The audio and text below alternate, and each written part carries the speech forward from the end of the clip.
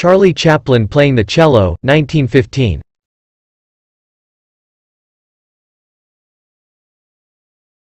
Five Children showing us the division of classes in England, 1935.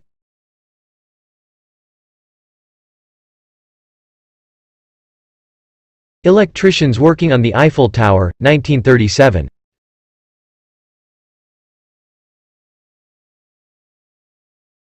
Soviet soldiers playing a piano in a war-torn living room.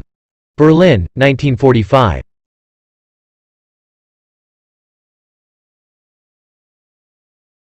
Construction of the Atomium Building, Brussels, 1958.